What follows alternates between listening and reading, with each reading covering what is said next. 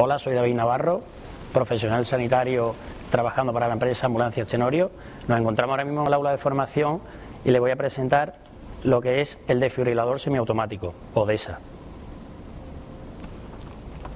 Es este dispositivo, uno de los 20 que actualmente dispone la empresa,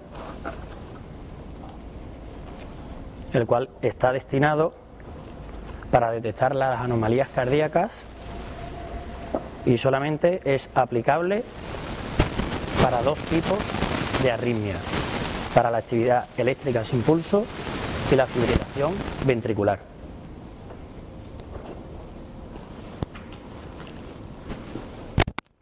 Los electrodos que se van a aplicar sobre el pecho desnudo del paciente para poder hacer una descarga eléctrica y así poder revertir la situación en la que nos encontramos. Actualmente existen dos tipos de desfibriladores. Unos son de tipo bifásico y otros monofásicos. Los monofásicos, concretamente este de aquí que tenemos es bifásico y suelen hacer una descarga de unos 260 julios aproximadamente. Estos son más utilizables porque son bidireccionales. Entonces la descarga eléctrica aplica mucho mejor sobre la actividad del corazón.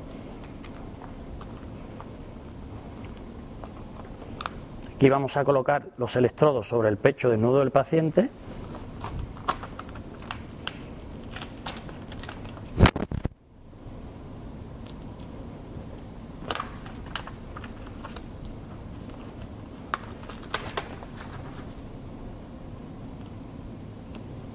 en esta dirección, diagonal, siempre, que es donde va a ser la conductividad eléctrica del corazón, desde aurícula derecha hacia ventrículo izquierdo.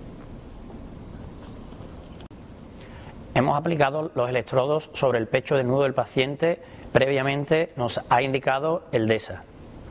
Siempre teniendo en cuenta que tenemos que preparar el pecho o el tórax, toda la zona del paciente, en el caso normalmente masculino, con una rasuradora, poder rasurar para que no haya ningún tipo de interferencia entre el parche y la piel. Ya hemos indicado que hemos secado todo el torso del paciente en el caso de que nos lo encontremos húmedo o mojado y la recomendación respecto al dispositivo marcapasos. Una vez nos ha indicado el dispositivo que está analizando el ritmo eléctrico o la actividad eléctrica del corazón, nos va a indicar si procede aplicar la descarga, que en este caso son de 260 julios al, tratarse de un dispositivo DESA bifásico, bidireccional. La actividad eléctrica se va a propagar desde aurícula derecha a ventrículo izquierdo bidireccionalmente. Una vez que ha detectado que está en situación de fibrilación ventricular o taquicardia ventricular sin pulso, es cuando nos va a indicar que se aplique la descarga.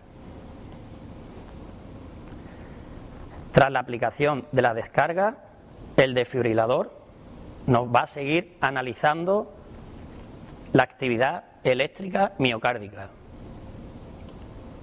Durante dos minutos, seguidamente nos va a indicar que sigamos con la maniobra de reanimación cardiopulmonar, con las 30 compresiones torácicas y dos insuflaciones. Una vez terminamos esta maniobra, nos va a decir el desfibrilador que volvamos a aplicar una descarga previamente separando durante unos centímetros de la zona corporal. Una vez que hemos conseguido revertir la situación del paciente y hemos alertado a los dispositivos, a las unidades de urgencia y emergencia, simplemente retirar los electrodos, que lógicamente solo se usan una vez, y evacuar al paciente al hospital lo más rápido posible. Actualmente la empresa han trabajado eh, con la empresa ENA en el aeropuerto, donde también se ha llevado a cabo en numerosas ocasiones la utilización de este dispositivo.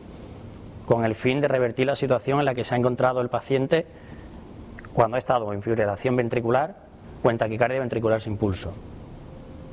Por normativa, desde hace unos ocho meses, actualmente, cuando hay un número, un volumen importante de personas en centros comerciales, centros deportivos, son dispositivos que se están utilizando cada vez más. Y hoy día es un elemento primordial que salva una vida sin necesitar una profesión sanitaria muy especializada.